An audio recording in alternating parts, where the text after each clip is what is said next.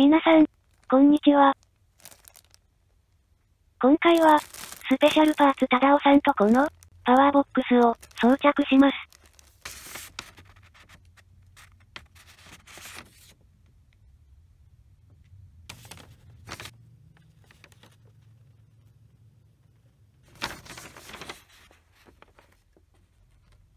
今回は、いつもの大雑把な取り付け動画と違い、取説の作業手順に沿って、わかりやすく取り付けたいと思います。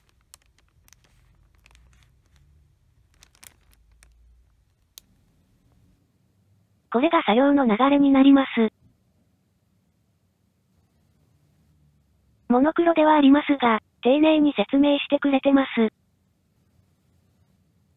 必要ならば、一時停止しながらご覧になってください。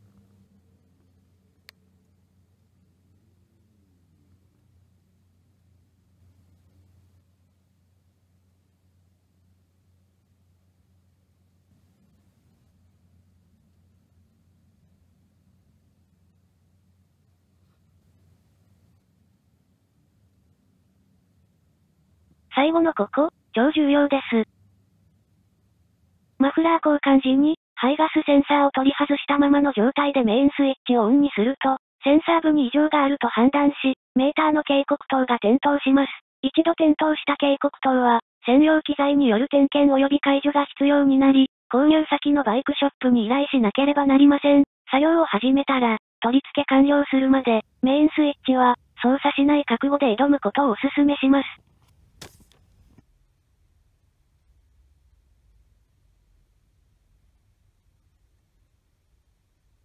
以上が、大まかな作業の流れと注意になります。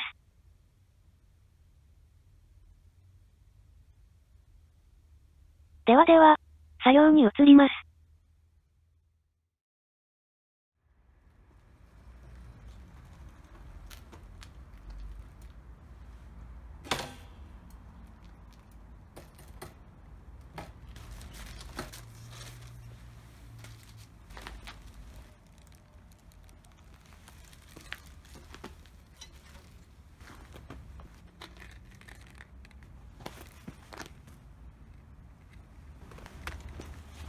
とりあえず用意した工具類です。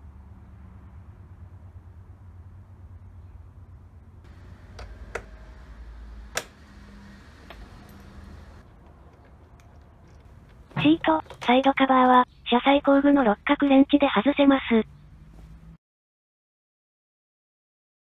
ちなみに、MD47 は、シートを外した方が、サイドカバーを楽に外せます。プッシュリベットは、なくすことないよう、注意してください。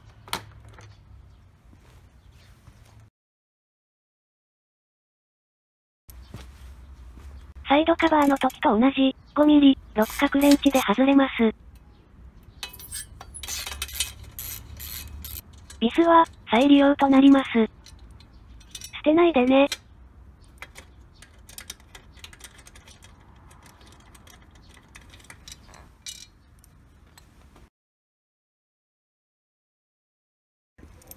ーの配線を、クランプから外しておきます。配線を傷めないように、外します。17ミリ、スパナになります。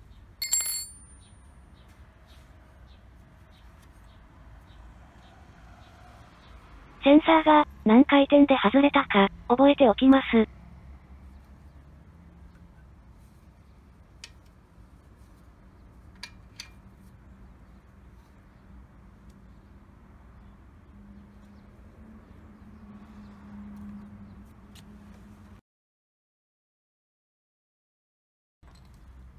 ここは、緩めるだけで OK です。12ミリ、ソケットレンチ使ってます。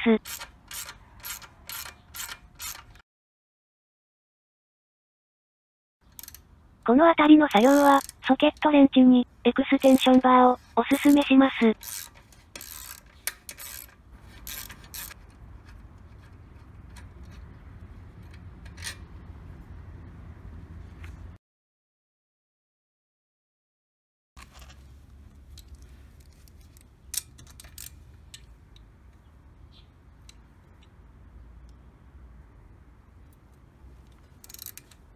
排気系は、同じ、12mm、ソケットレンチで外せます。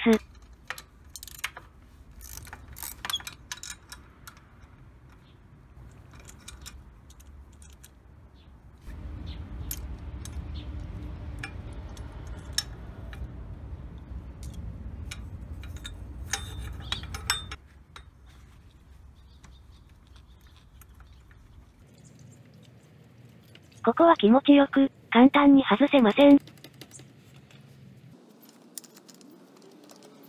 焦らず、少しずつ少しずつ。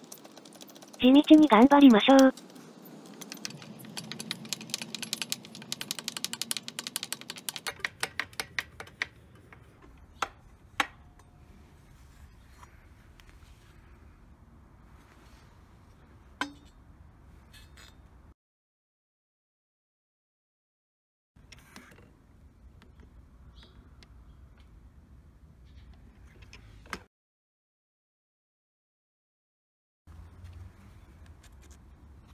ジョイントガスケットは、固着して、取りにくいです。再利用しないので、遠慮することなく、取りましょう。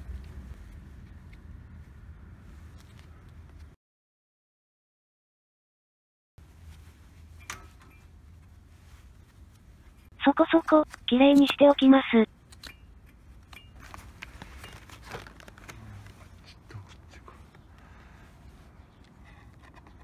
一応、2種類、用意してますが、マフラー用、耐熱シール剤を、使ってみます。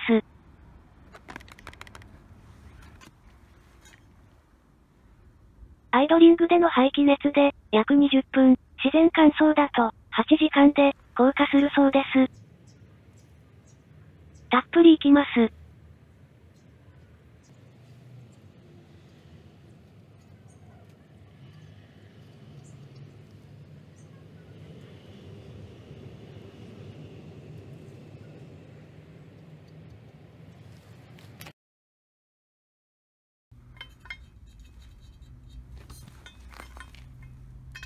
プロテクターの固定ステイを外します。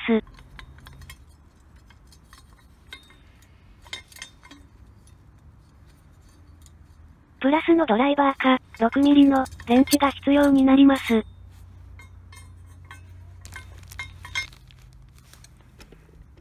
同梱されていたバンドに交換します。固定用のステイは再利用します。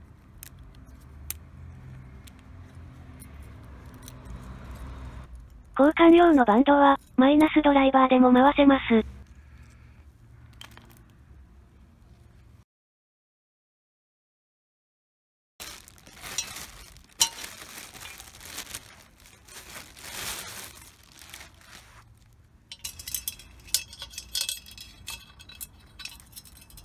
パワーボックス、太鼓の前方に移植します。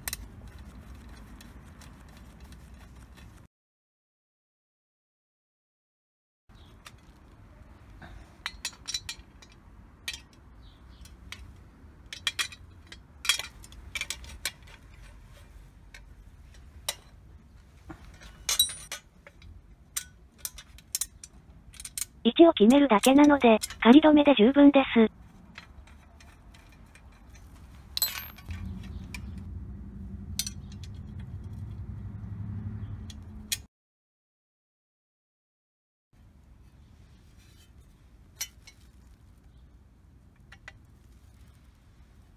太鼓に干渉しないように、位置決めします。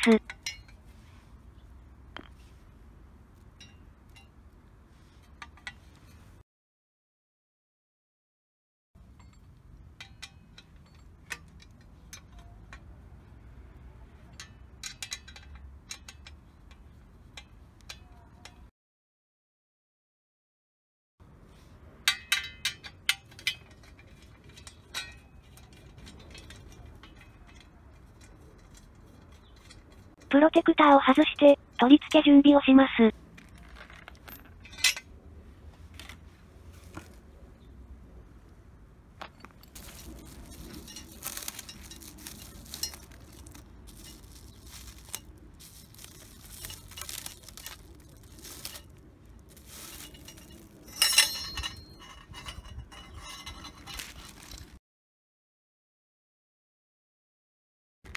エキゾーストガスケットを、セットします。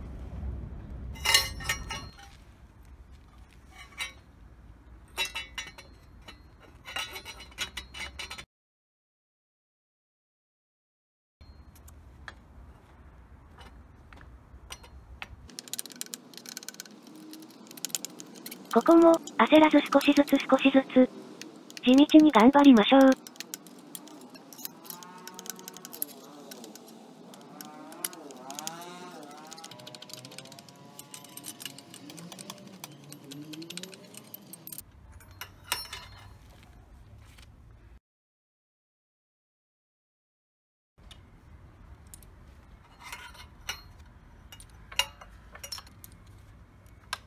ランジ固定には、純正ナットを再利用します。今は、本締めまでの、仮止めで OK です。各接続を確認してから、本締めします。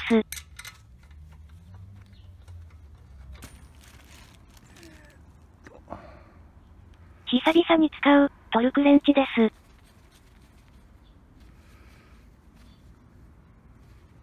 締め付けトルクを14ニュートンメーターに設定してます。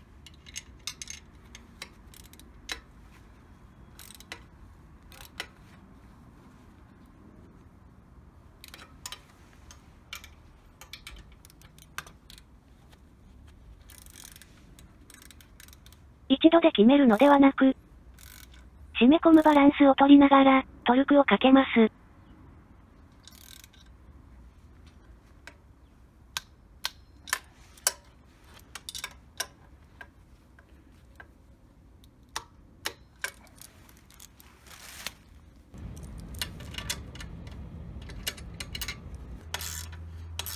サイレンサー側も、本締めします。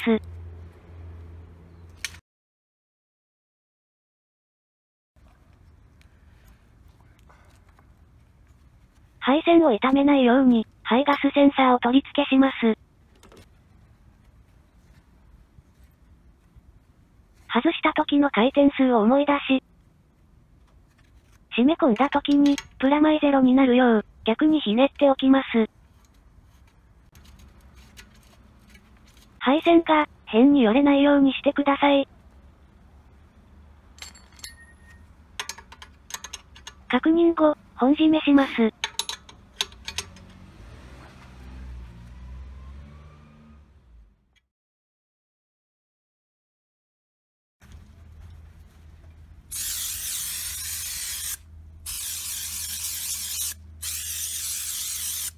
プロテクターをつける前に、脱脂しておきます。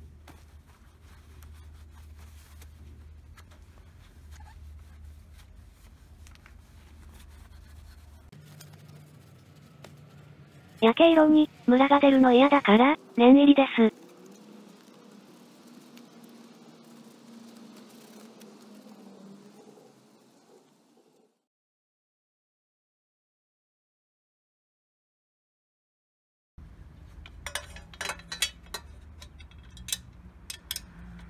プロテクターを取り付けます。ただおさんが用意している、交換用ビスは、4ミリの、六角レンチになります。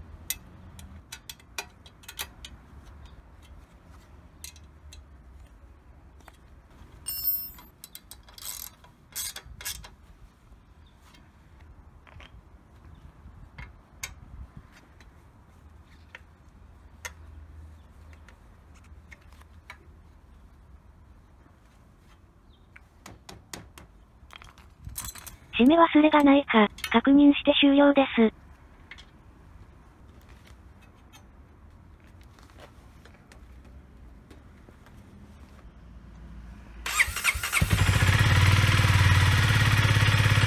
排気漏れもないようです。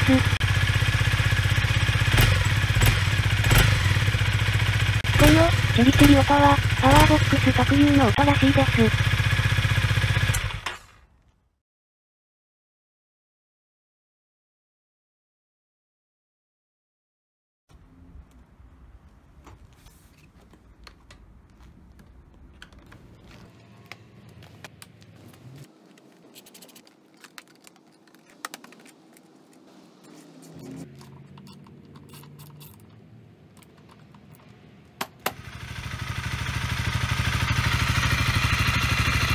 終了です。お疲れ様でした。